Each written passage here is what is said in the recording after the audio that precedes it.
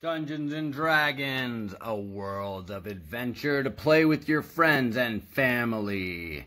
Is it easy? No. Is it easy to get along while you're fighting each other? No. Will we survive eight hours of playing together as all sorts of races and classes? Will we survive? Will we have enough pizza? Only the strong shall know. I'm Max, and I love playing D&D.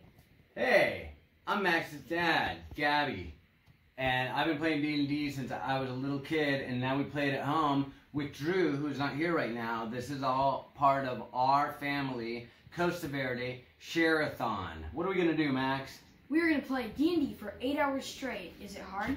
No, we don't know. Well, we do know it is very hard. Lots of dice, lots of game playing. He's saying this because it's easy to get in a fight when it's life or death between your characters that matter to you.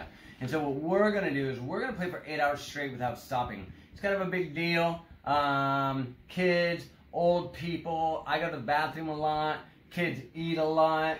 Um, and we have uh, battles all day long. So we're gonna do that for eight hours, right, Max? And we're gonna get support. We're gonna play uh, an entire module. This is called the Lost Mine of Philibitibitabitibitabitibitabir.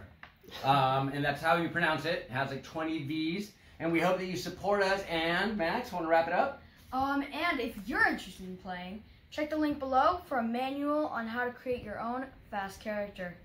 Thank Uh, you. Thanks. Support Costa Verde. Support everything. Stay safe out there. Play indoors.